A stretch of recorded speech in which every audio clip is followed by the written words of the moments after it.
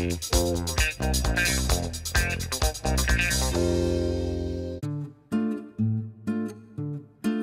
bars can be very big in some supermarkets and you can offer a large variety. In this store, basically because of room, we offer 86 different varieties. We have Sevillano, we have Kalamata, we have Beldi, we have Picholine, we have Niçoise, you know, we have Costa Castelvetrano, we have Bella di Cerignola, okay? We have uh, Carolia, we have Arbequina, we have Hoji Blanco, we have Gordal, uh, we have Coquillo, we have, um, well, you almost put me on the spot. We have Lucques, we have um, Amfissa, we have uh, Halkidiki, all right? We have Atlas. So anyways, we'll keep going. We offer the 86, but it's very fluid. My name's Anthony DePietro, and we're at DeLallo's Italian Marketplace.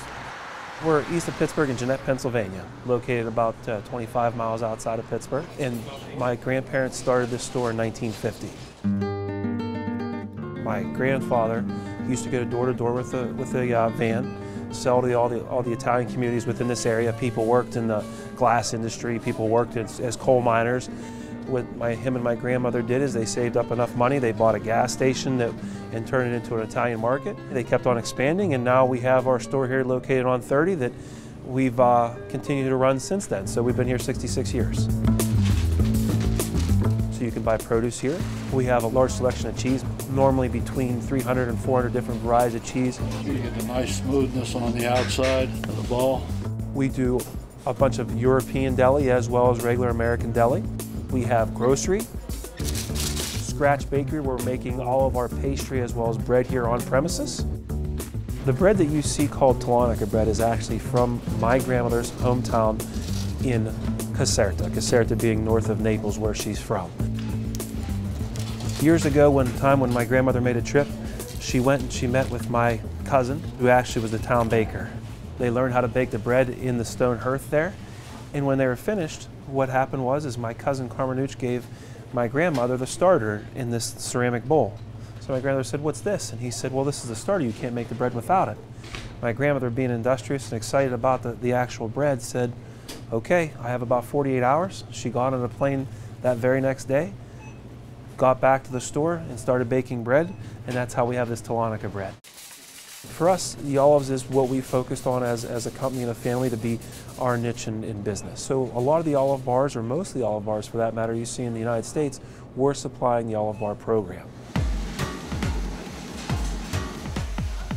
We package 100 different varieties of olives in different footprints. I'm Jeff Latimer, Director of Operations. Well, this is our production facility. We have six rooms in the building. We're the largest producer of olives and antipasta items in the country. So we have different formats, retail packages, and packages for our olive bar service and food service out across the country. On any given day throughout the building, we pack probably about 5 million olives in one day. This is our California Sevillano olive.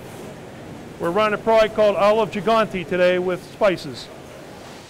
Sevillano varieties were brought from Spain by Spanish missionaries when they started to immigrate to California. And what happened was is this certain variety was taken on by Italian immigrants and cured in a Sicilian style. So what we do in California is we take Sevillano olives and we cure them in a Sicilian style. So we both cure olives in California as well as we have some orchards where we grow olives. And we also partner with farmers where we partner with them and we buy that crop. Mostly that's a unique item to DeLallo's, so that separates us from a lot of our competitors. So we give a unique flavor profile that someone else can't give you. You take an item, it's a, it's a recipe. All the materials have to be put into a batch. They either go into a hopper or a, or a vat or a bowl. That product has to be weighed and put into the package. Then the package gets dated, labeled, put into a case, palletized, and then shipped down to newsstand for distribution we actually select. We're doing national distribution. So in some uh, form or another, we're distributing to all 50 states, Canada, Mexico, and some of the Caribbean islands and alike. what we sell is we sell table olives, all right? The olives you find in cans are black ripe olives, which is a whole different animal. I'm still getting my feet wet, I'm still learning.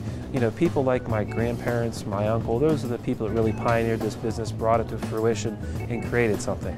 My job here is, is to learn as much as I can to be a good ambassador of what my, my family is and what we do, and to be able to perpetuate what they've created.